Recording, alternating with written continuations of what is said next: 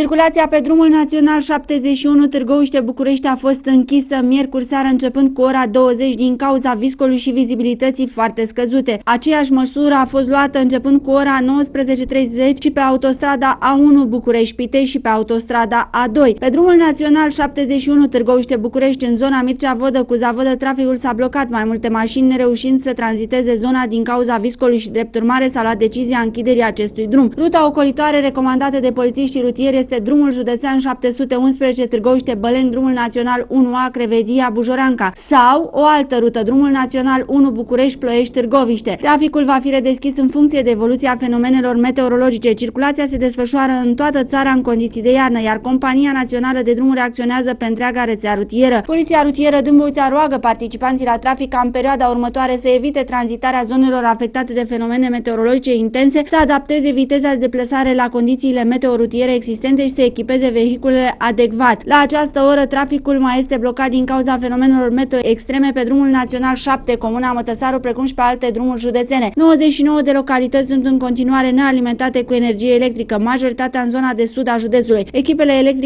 lucrează în teren pentru remedierea defecțiunilor apărute.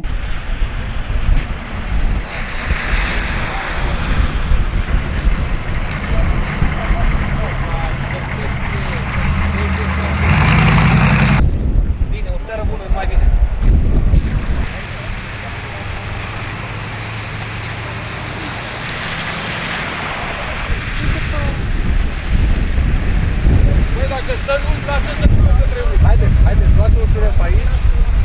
Unde stă? Ușurel, aici în Unde stă? Luați-o ușurel pe Mulți aici. Băcărești, uite, lăsați să trec. Hai.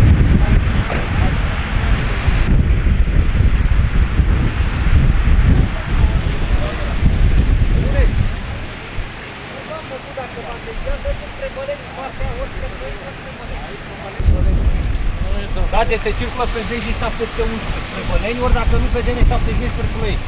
E blocat spre București.